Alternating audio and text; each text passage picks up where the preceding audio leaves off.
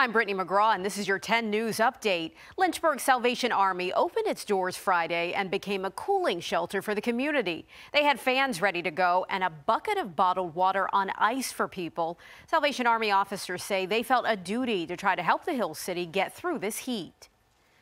Roanoke police are asking for your help in finding a missing teenager. They're looking for 13-year-old Alana Myers. She was last seen at about 7 Wednesday night at her home on Day Avenue, walking toward Washington Avenue. She was last seen wearing a white t-shirt and black Ecko sweatpants. Police do not believe she is in danger. Meanwhile, the city of Lynchburg is looking for 52-year-old Mary Yates. Police say she was reported missing on Wednesday. She was last seen wearing a pink shirt and white shorts.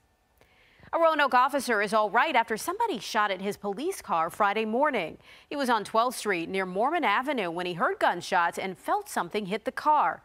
After investigating, police found shell casings a few blocks over, and just up the road, they found and arrested 24-year-old Tyrone Fluell, who was illegally carrying a gun.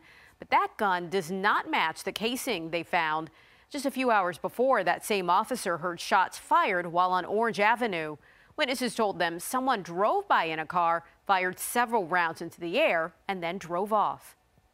A reminder that you can get updates on the go with WSLS.com and the 10 News app.